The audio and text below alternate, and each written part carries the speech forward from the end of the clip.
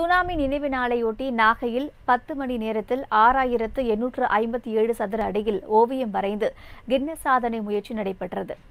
நாகை மாவட்டம் தலைஞாயிறு பகுதியைச் சேர்ந்தவர் கார்த்திக் ராஜா. சிறு வயது முதலேயே ஓவியம் வரைவதில் ஆர்வம் கொண்ட இவர் ஓவியத்தில் உலக சாதனை நிகழ்த்த வேண்டும் என பல்வேறு முயற்சிகளை மேற்கொண்டு வந்துள்ளார். இந்த நிலையில் கடந்த இருபத்தி ஆறாம் தேதி சுனாமி பேரலையின் பதினேழாம் ஆண்டு நினைவு நாள் அனுசரிக்கப்பட்டது.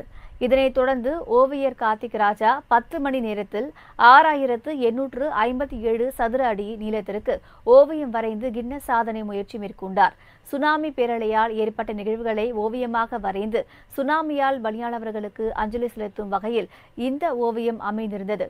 தனியாளாக பத்து மணி நேரத்தில் மிகப்பெரிய ஓவியம் வரைந்த கார்த்திக் ராஜாவுக்கு பாராட்டுகள் குவிந்து வருகின்றன. தனது இந்த சாதனை முயற்சிக்கு உதவிய மாவட்ட ஆட்சியர் அருண் தத்மராஜ் மற்றும் அரசு அதிகாரிகளுக்கு அவர் நன்றி தெரிவித்துக் கொண்டுள்ளார். கின்னஸ் வேர்ல்டு ரெக்கார்டு செய்யணும் அப்படிங்கிற ஒரு எண்ணம் தான் எனக்கு. அதனால் உலகத்திலே மிகப்பெரிய தனிநபர் ஓவியம் என்ற வந்து தலைப்பில் வந்து ஒரு கின்னஸ் ஓவியத்தை நான் வரைஞ்சிருக்கேன்.